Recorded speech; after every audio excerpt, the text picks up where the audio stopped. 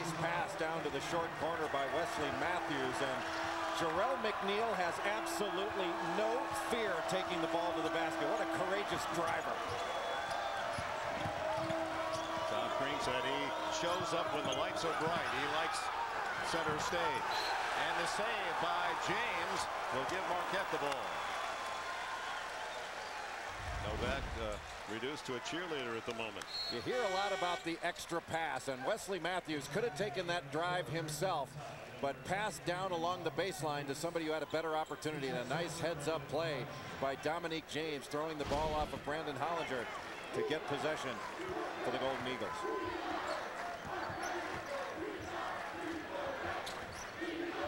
Alabama 29, Marquette 22 as we approach the eight-minute mark remaining here in the first half. And too aggressive of Felix. And he picks up the foul.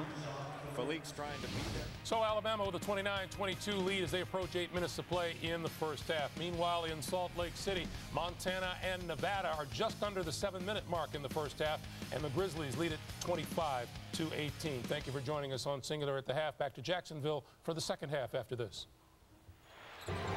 CBS Sports presents Cingular at the half, sponsored by Cingular, raising the bar. Davidson. And James with a penetration, and it just wouldn't fall for him. He took a whack as he delivered the ball, no foul. Felix, he hasn't lost his touch. Five from outside, five for six, and 15 points for Jean Felix.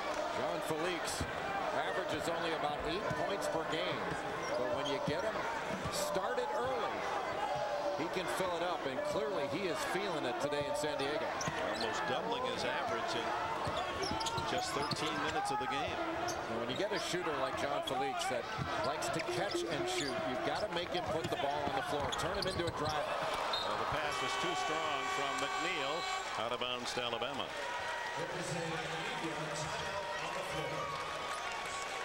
The junior from uh, the Congo, Brazzaville, Felix. He's been the man for Alabama.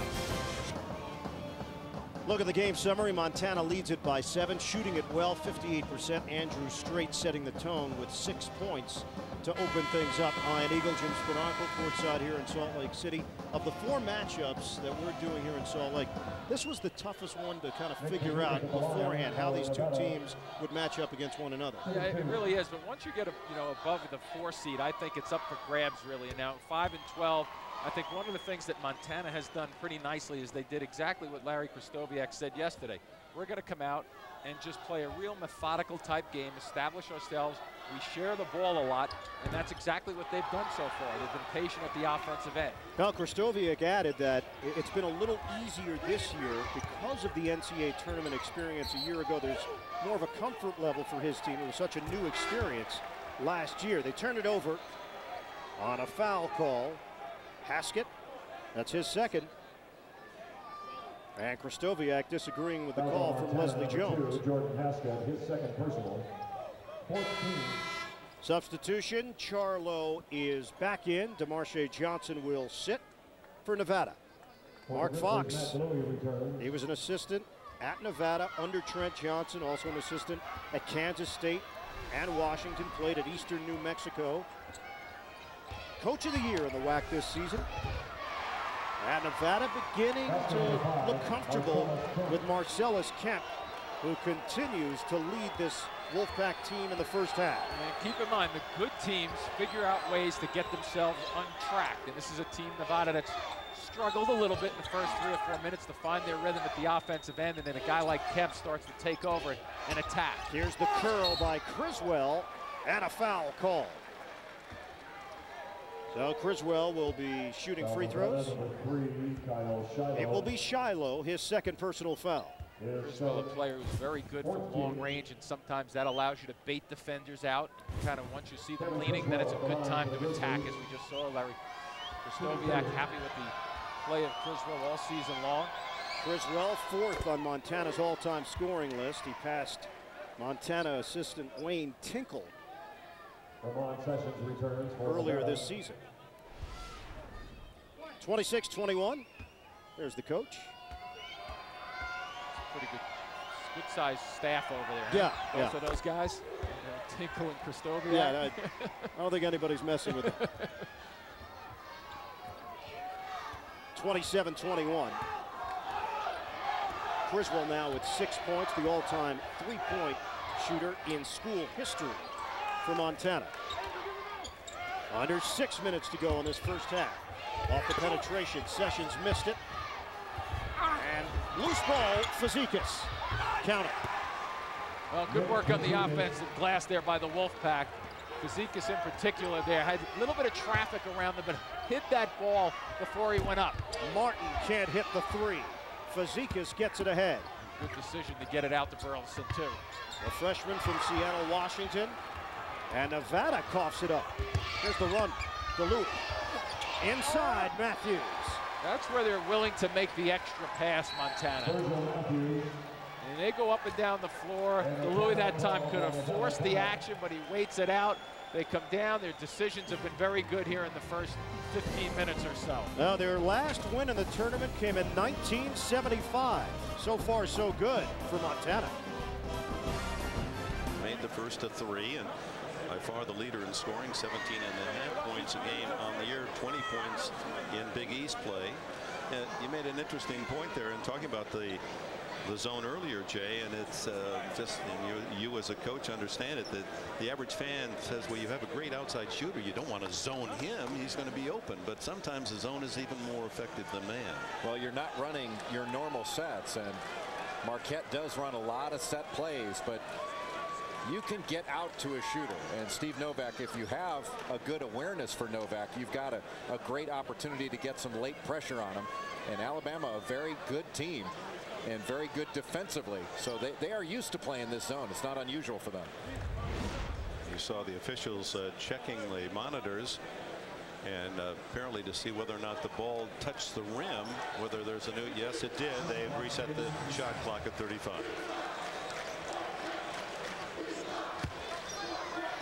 Marquette shooting over 60% in this ball game, yet they find themselves down by 11. They have allowed some offensive rebound opportunities. They have allowed Jean Felix to get started from three. And they've been guilty of turnovers.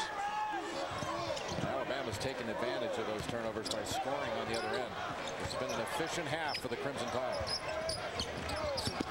Neal to Novak, and he draws a crowd. And a foul against Marquette. The push-up, I believe, is on Jameel Lott.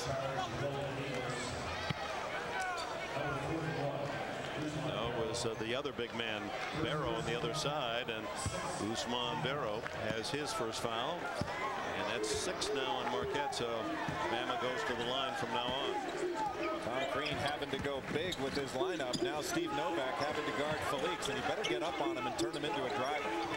Yeah, Felix had a shot there, but uh, turned it down.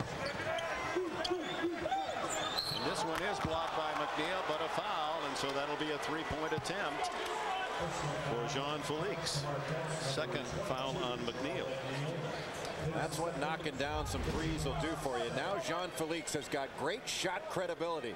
You've got to get out to him with a little more of a sense of urgency and a little too much urgency there by the freshman Jerel McNeal. And you just have to love that mentality of someone who thinks that they can really shoot the ball because Felix actually was down to 29% from three-point range, was not shooting well. He didn't know it. He came out firing. Only averages eight points per game. Not a great shooter, but a streaky shooter. And right now he is on a hot streak. Makes two of the three-point attempt. As uh, Dan Fitzgerald is back in for Marquette, replacing Terrell McNeal. You've got a player with this kind of positive momentum, it's almost like as a coach, you don't want to go in for halftime. You want to say, can we just keep playing? We, will we'd be willing to waive halftime. Did you ever feel that way? I did about my teammates, not about myself. Two for three from the line from Felix, and it's a 13-point lead for Alabama. From the baseline short, and here comes Steele and Bama. The Tide on a roll San Diego. Hollinger's first shot of the game, not there. And Davidson gives Bama another second chance with the offensive rebound. Hey, talk about long arms. James thought he had that ball, and then the long arm of Jermareo Davidson just picked it out from over. Davidson says, okay, you think I'm going to drive? I can hit these too. And timeout called by Tom Crean. Can't believe it. 37-22, Alabama in charge with five minutes to play in the first half. Meanwhile, in Greensboro, almost 17 and a half to play in the second half. Tennessee with a 43-39 lead on Winthrop. Let's take you there live enjoying Kevin Harlan and Dan Bonner. Tennessee is led by six, and Winthrop is led by as many as three. A game that's contained five ties and four lead changes. Look at Bruce Pearl and his counterpart Gregg Marshall. We're in Greensboro. Game one, Wichita State took care of Big East Seton Hall. The winner of this game will play the Shockers. Great, oh, oh. tough basket inside by Otis Daniels, senior from Greenwood, South Carolina. Gregg Marshall out there on the court trying to double team C.J. Watson. oh no, I'm sorry. He was just calling out his defense. Now what, what happens if the coach is out on the court and the guy runs into him? Inside. When he just does that, sticks with rebounding and just close point blank range shots. He's, he's in good shape and tough to stop. As we have seen, however, when he starts dribbling the ball, he generally has some adventures out there. Big South Conference champion Winthrop. And the top team in the Eastern Division of the Southeastern Conference, Tennessee. Schuler. That's a tough matchup for Bradshaw.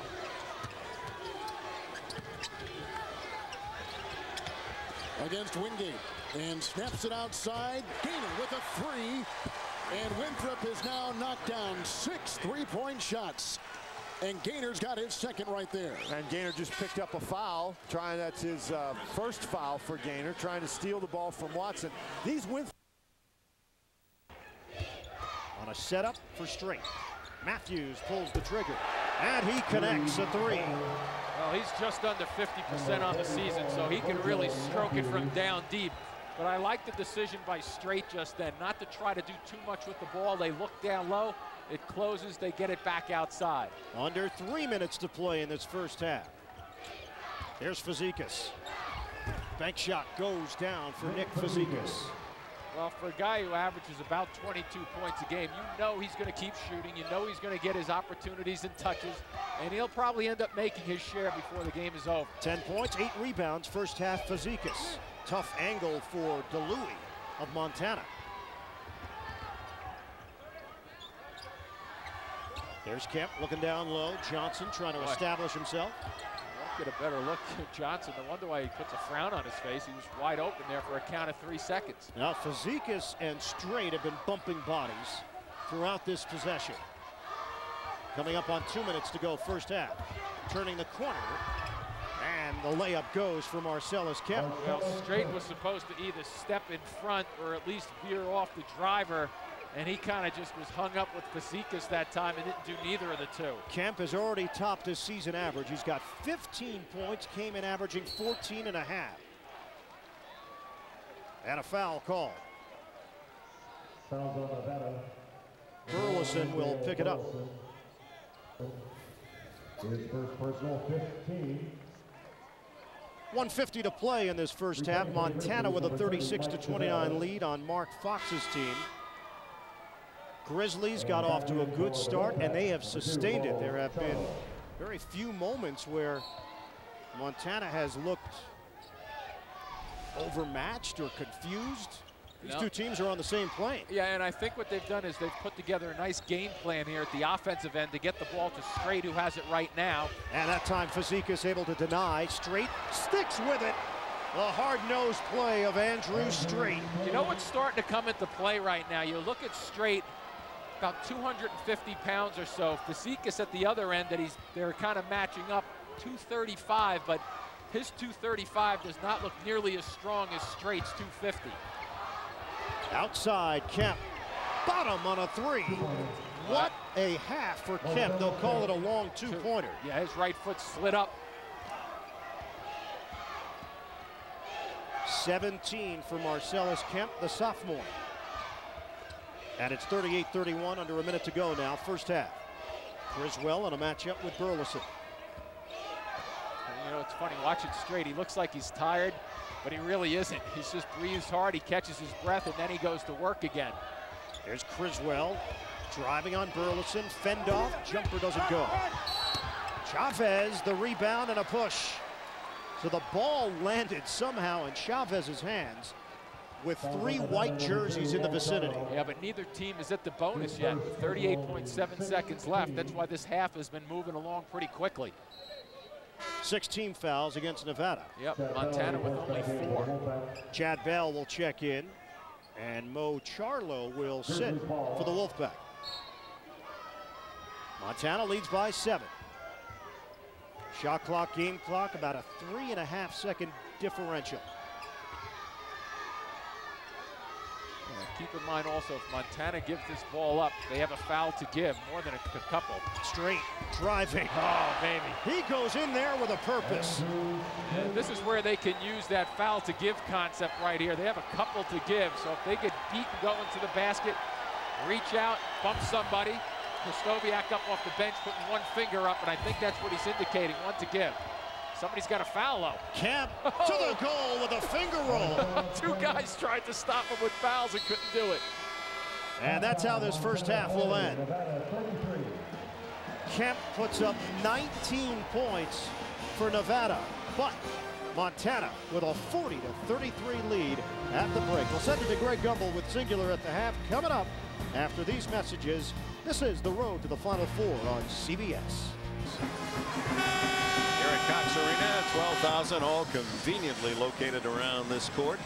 And uh, Jean Felix, uh, apparently that hour and a half delay with the bomb scare that started our morning didn't bother him. Maybe he was off shooting threes in the parking lot because he came out really drilling uh, big numbers.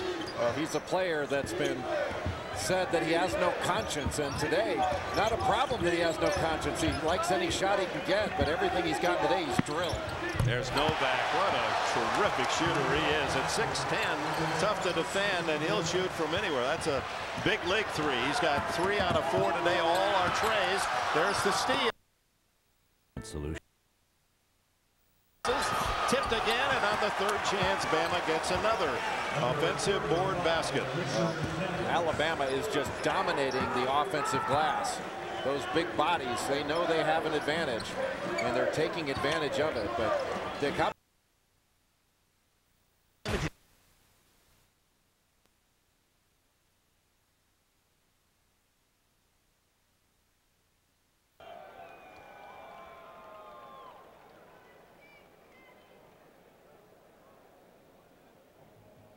game is at halftime, but we have three other games going on in this first round of the NCAA tournament. We'll take you out to live action next. CBS Sports presents Cingular at the Half, sponsored by Cingular, raising the bar. Welcome once again to our New York studios and Cingular at the half. At the break, it's 40 to 33 Montana leading Nevada. Greg Gumbel along with Clark Kellogg and Seth Davis. In other games in Greensboro, Winthrop and Tennessee are doing battle and they're battling well. 30, let's see, Winthrop and Tennessee, there it is, 50 to 47. The Volunteers in the lead coming up on 13 and a half minutes to play in the second half. Let's go there live. Kevin Harlan, Dan Bonner regular season in the Big South Conference Championship. They are in again. Here's Martin with the long-range three. And Patterson fought for it, and Howell has it. The two-seed Tennessee Volunteers have led by six. Try to get it inside to Wingate. They can't. Now charging Chris Gaynor. Into Crenshaw. What a pass and what a finish. Boy, once again, Tennessee having a tough time getting back on defense. That is, that is not a turnover. Bruce Pearl called the timeout before the ball was thrown in bounds, and I think Gregg Marshall, if his head face gets any redder, his head's going to pop off. We told you before he operates with a 10-year extension on his contract. He's brought this team to the big dance before, and the confidence they're showing today against the two-seed Tennessee Volunteers has been something to see. Let's set up the play. Davidson. Felix, another three. Kind of shot putted that one. Didn't really get his feet set. He was almost surprised he was that wide open.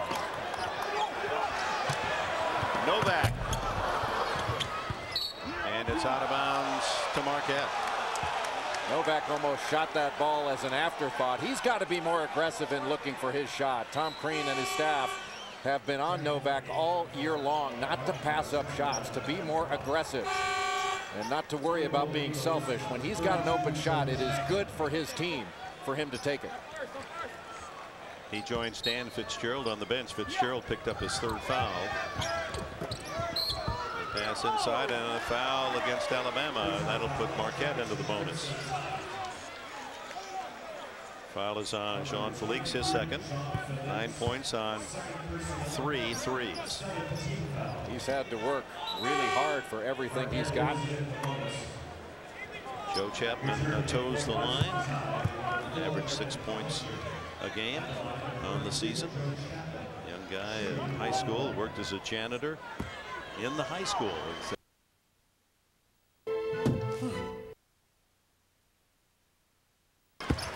That's really one of the great things in college basketball right now for a lot of these programs that have new practice facilities is all the kids can get in there whenever they want to go shoot, to work on their game, shoot free throws. And Chapman uh, deft on those two attempts. Alabama's lead uh, reduced to 12. Marquette sticking with man-to-man. -man. They started the game out in zone, and John Felix went crazy on the Golden Eagles from the perimeter. Steele working the baseline. That gives Davidson a 15-footer. Soft touch. Jermareo Davidson with 11. Oh, Alabama's done very little wrong, Jacobs. They have really shot the ball extremely well. They have rebounded well on the offensive end. They've limited Marquette one shot for the most part. They've turned him over, and better yet for Alabama, they have not gotten their big guys in any foul trouble at all, and that's vital.